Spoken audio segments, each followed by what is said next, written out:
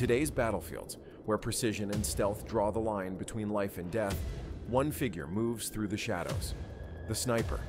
Silent, lethal, mysterious. Every move is carefully calculated, every breath controlled with surgical precision, and every shot has the power to change the outcome of a war. These elite marksmen can spend 24 to 72 hours completely still, hidden in dense forests, crumbling buildings, or improvised underground shelters. They don't move, they don't eat, they barely breathe. But this level of endurance isn't unusual. It's part of the job, a reflection of the training, patience, and discipline required to complete a mission and make it out alive. Now here's the question. If they're so accurate, why don't snipers usually aim for the head? Can the Earth's rotation really throw off a bullet's path? And how are drones beginning to replace them in modern warfare? Don't worry. In this video, we'll break it all down for you. From the science behind the perfect shot, to the new threats these Shadow Warriors face on the battlefield. Get ready, because this isn't Call of Duty. This is the real world of snipers. On July 2, 2005, fate delivered a cruel twist on the streets of Iraq. A U.S. soldier named Steven Scheider was shot by an enemy sniper. But thanks to his body armor, the bullet didn't kill him. While the enemy team filmed the scene, confident they had taken him down, Scheider, disoriented but alive, got back on his feet. Fueled by adrenaline, he took cover behind a Humvee, and with an almost supernatural sense of awareness, he located the sniper. What followed was a high stakes pursuit that ended with the enemy shooter wounded and trying to escape. And then, something unexpected happened.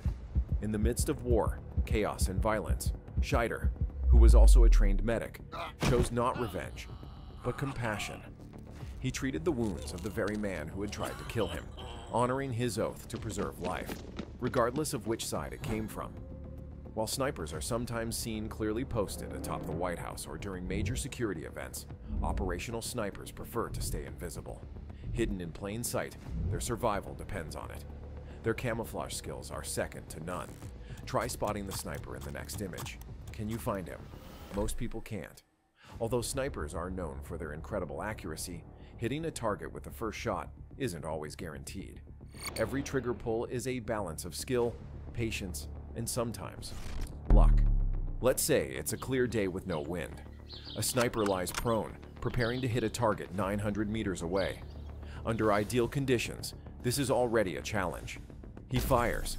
If he misses, the way the bullet hits the ground provides vital data. That's when the spotter comes in. With calm, precise instructions, the spotter guides the sniper. Adjust one mil up, a quarter mil left, reacquire. Following the command, the sniper realigns, takes the shot again, and this time, it hits. So who's really in charge of this deadly duo? While the sniper pulls the trigger, it's the spotter who reads the wind, calculates the shot, and commands the rhythm of engagement. Together, they dominate the battlefield, where every correction and every word can mean the difference between a hit and a miss. Yet one of a sniper's biggest enemies isn't always the target itself. It's the crosswind. Crosswinds can shift suddenly, affecting a shot at the very last second. That's why spotters carry advanced tools to measure wind speed and direction in real time. Gravity, often underestimated, also plays a major role. A bullet doesn't travel in a straight line. It follows a subtle arc as gravity pulls it downward. At longer distances, the sniper must aim higher. To do that, they use elevation and windage dials on their scope, aligning the reticle with the adjusted point of impact. But when there's no time for that, snipers might use a technique called holdover, adjusting their aim using the reticle's measurement lines, rather than the physical scope settings. And then there's the Coriolis effect, a consequence of Earth's rotation. Our planet spins from west to east, and this spin subtly shifts the trajectory of long-range bullets. A shot fired west may hit lower than expected. Fired east, it might go high. This minor but critical factor is why flat earthers would make terrible snipers. To account for all these forces wind, gravity, Coriolis the distance to the target must be known with absolute precision. If the spotter misjudges a target at 800 meters as being 695 meters away, the bullet could land 20 centimeters too low. missing entirely. This is why snipers use laser rangefinders. These devices send a beam to the target and measure how long it takes to return. Consumer-grade models work up to 100 meters, but military versions, often attached to binoculars or tripods, can detect targets 25 or even 40 kilometers away. In November 2023, the world witnessed a historic shot. Ukrainian sniper Kowalski, 58, landed a kill from an astonishing 3.8 kilometers, farther than the length of two Brooklyn bridges placed end to end. The bullet flew for nearly 9 seconds before impact. A video was released to verify the record. When a sniper holds his rifle, even breathing and finger tension can alter the outcome. This is known as breath and trigger control. At extreme distances, even a heartbeat can throw off a shot. That's why elite snipers train to slow their pulse and shoot between heartbeats. National Geographic once invited a sniper to a lab and measured his trigger pull. It happened exactly mid heartbeat. And by the way, unlike what Hollywood shows, military snipers rarely aim for the head. It's a small, moving target. Beyond 300 meters, headshots become dangerously unreliable. Instead, they aim for the upper torso, a larger, more stable area. Hitting it increases the chance of disabling the target quickly and effectively. Police snipers operate differently. They usually engage at much shorter ranges and may need headshots in critical situations, such as when a suspect hides behind a hostage. But even that's nothing compared to aerial snipers.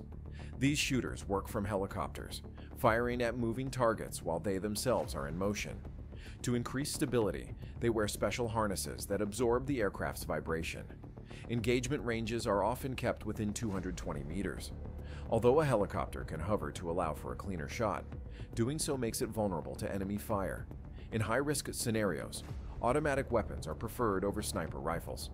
The pilot, often acting as spotter, plays a crucial role in stabilizing the platform and coordinating maneuvers so the sniper can land the shot. On the ground, a sniper's best weapon isn't their rifle, it's their invisibility. A sniper who's been spotted is a sniper who won't survive. That's where the ghillie suit comes in. More than clothing, it's a tool of near invisibility. Snipers customize it with natural elements from the environment to blur their outline, especially around the neck, underarms, and groin, to erase any trace of human form. This is both an art and a science. In dry grasslands, a sniper might weave dry grass into their suit to blend with the soil. It's dirty, uncomfortable, but essential. Even their uniform is modified. No zippers, no Velcro. These could jam with dirt or make noise. Instead, they use buttons and Cordura 500 fabric for durability. Face paint, camouflaged rifles, every detail matters. But the hardest part of the job, the stalk. Snipers are trained to crawl slowly, agonizingly slow, for hours across terrain just to get into position. Instructors attempt to spot them before they fire. The goal is simple reach your target unseen. In real combat, snipers may spend days crawling, climbing, enduring heat, insects, and pain just to take one shot. Yet the trigger pull is only 10% of the job. The rest is observation, intelligence gathering, and battlefield coordination. From their hiding spots, snipers monitor enemy movement, relay data for artillery strikes, and confirm hit accuracy. Their success depends on survival skills, map reading, communication, and most importantly, teamwork with their spotter. At Fort Benning, Georgia, the U.S. Army Sniper School runs a grueling seven week course. Candidates from every military branch, and since 2015, women too, can apply. In November 2023, Sergeant Maciel became the first active duty female sniper in U.S. Army history. But don't think it's easy. Only 4 in 10 candidates pass. Psychologically, snipers are as feared as landmines. They strike suddenly, with deadly precision, and are incredibly hard to detect.